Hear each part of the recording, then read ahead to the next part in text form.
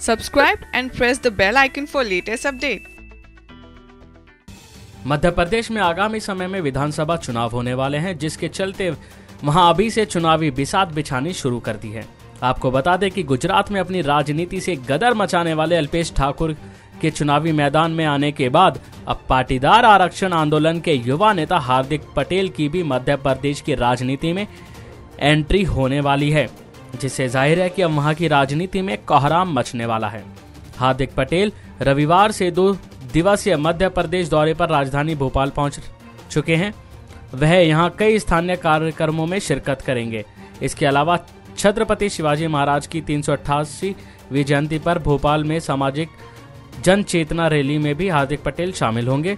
जानकारी के मुताबिक गुजरात चुनाव में अल्पेश ठाकुर, हार्दिक पटेल और जिग्नेश मेवानी की तिगड़ी ने कांग्रेस के साथ मिलकर भाजपा को करारी टक्कर दी थी। इस तिगड़ी में शामिल अल्पेश ठाकुर पिछले सप्ताह ही भोपाल और सतना का दौरा कर चुके हैं। गुजरात चुनाव के पहले कांग्रेस में शामिल हो चुके अल्पेश ठाकुर की कोशिश मध्य प्रदेश में ओबीसी समुदाय को बीजेपी के खिलाफ एकजुट करने की है। उन्होंने बताया कि प्रदेश की सभी 230 विधानसभा सीटों पर उनका संगठन सक्रिय होगा। साथ ही दावा किया गया कि प्रदेश में कांग्रेस की सरकार बनेगी। एसपीएन नाइन न्यूज़ रूम की रिपोर्ट।